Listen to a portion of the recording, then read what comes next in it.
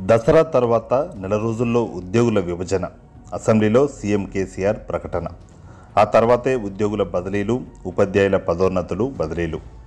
రెండు మూడు నెలల్లో ఉద్యోగ నియామక ప్రక్రియ ప్రారంభం సీఎం కేసీఆర్. సీఎం కేసీఆర్ ఉద్యోగార్థులకు శుభవార్త వినిపించారు. రెండు మూడు నెలల్లో ఉద్యోగ నియామక ప్రక్రియ ప్రారంభం కానుందని అసెంబ్లీ వేదికగా తెలిపారు. దసరా తర్వాత ఉద్యోగులతో చర్చలు జరుపుతామన్నారు. జోనల్ విధానం ప్రకారం ఉద్యోగుల విభజన ఉంటుందని స్పష్టం చేశారు. దాదాపు ఎనభై వేల ఉద్యోగాల భర్తీ జరిగే అవకాశం ఉందని సీఎం కేసీఆర్ వివరించారు. నూతన జోనల్ విధానం ప్రకారంగా రాబోయే నెల రోజుల్లో ఉద్యోగుల విభజన పూర్తవుతుంది. ఆ తర్వాత ఏ జిల్లా వాళ్ళకు ఆ జిల్లా క్యాడర్ పోస్టులు ఇచ్చేస్తాం. ఏ మండలానికి ఎంతమంది సిబ్బంది ఉండాలనేది లెక్క ఉంటుంది. జిల్లాలో ఎంతమంది సిబ్బంది అవసరం ఉంది అనేది తెలుస్తుంది. జోనల్ విధానం అనేది ఈ మధ్య వచ్చింది. అది ఒక్కసారి ల్యాండ్ అయిపోతే మనకు కూడా ఎంత సంఖ్య ఉందనేది తెలుస్తుంది. ఆ ప్రక్రియ కూడా రెండు మూడు నెలల్లో రిక్రూట్మెంట్ చేసేస్తాం.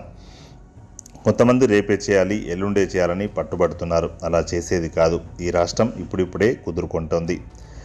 నిన్నగాక మొన్న కథ మన జోనల్ విధానం వచ్చింది. మనం తీసుకొచ్చిన జోనల్ విధానాన్ని మనమే ధిక్కరించలేం కదా. అందుకే ఈ దసరా పండుగ తర్వాత ఉద్యోగులతో నేను మాట్లాడతా.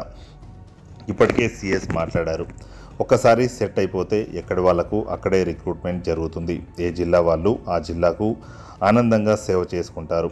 నాకున్న అంచనా ప్రకారం ఇప్పుడు ఇచ్చిన లక్ష యాభై వేల కాక ఇంకో డెబ్బై నుంచి ఎనభై వేల ఉద్యోగాలు వస్తాయి. అవి కూడా సౌకర్యవంతంగా ఎక్కడి వాళ్ళకు అక్కడే సీఎం కేసీఆర్ ముఖ్యమంత్రి.